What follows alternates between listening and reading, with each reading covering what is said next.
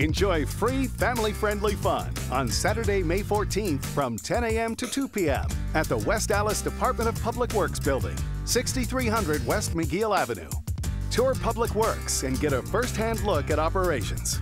Meet crews and check out demonstrations and simulations of all Public Works does to keep our city safe and clean. Plus, learn about a career in Public Works during the job fair.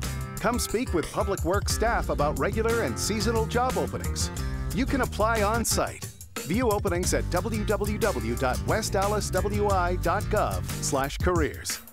If you have a little one who's crazy for trucks, Public Works vehicles will be on display, and young visitors can explore and learn more about Public Works equipment. Bring a non perishable food item and receive a chance to win a free rain barrel or garbage cart. Learn more about what Public Works does at www.westalliswi.gov/dpw and join us on May 14th to learn more about how Public Works works for you.